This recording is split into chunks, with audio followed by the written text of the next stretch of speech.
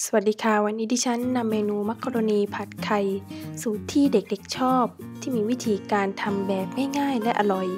มาแนะนำทุกๆท่านค่ะ ก่อนอื่นเตรียมในส่วนของไข่ไก่ 2 ฟอง เตรียมมักกะโรนีต้มสุก เตรียมหอมใหญ่หั่นเตา๋าเตรียมซอสมะเขือเทศ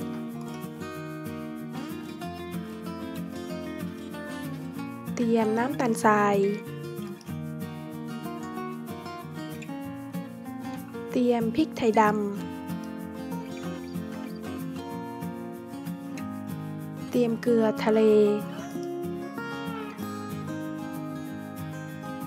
เมื่อเตรียมของเสร็จแล้วให้ยกกระทะขึ้นตั้งไฟและใส่น้ำมันตำลงไปค่ะ รอจนกระทั่งน้ำมันร้อน พอน้ำมันร้อนได้ที่แล้วให้นำหอมใหญ่ที่เตรียมไว้ใส่ลงไปในกระทะ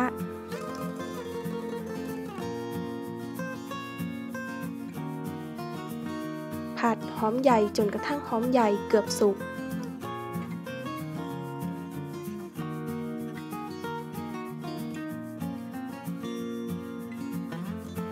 ใส่ไข่ไก่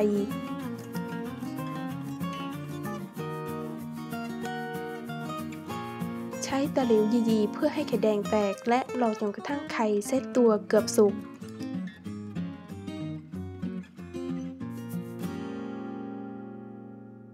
ใส่เส้นมักกะโรนีต้มสุกตามลงไปค่ะ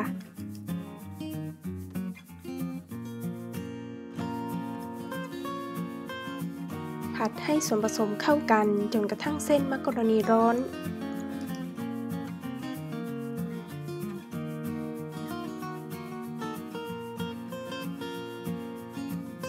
ใส่ซอสมะเขือเทศ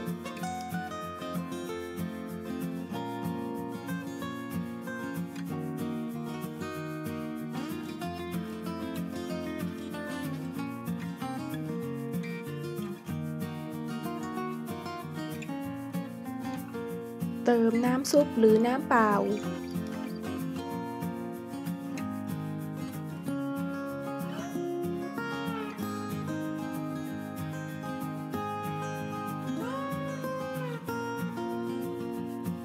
ใส่น้ำตาลทราย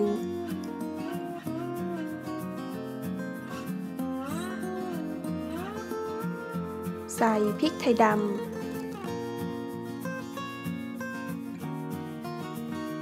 ใส่เกลือทะเล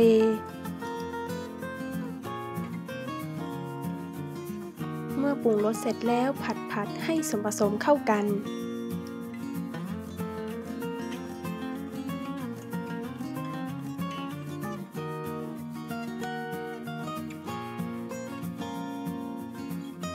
ตักผัดมักกะโรนีที่เพิ่งทำเสร็จจัดวางใส่จานและเสิร์ฟได้เลยค่ะ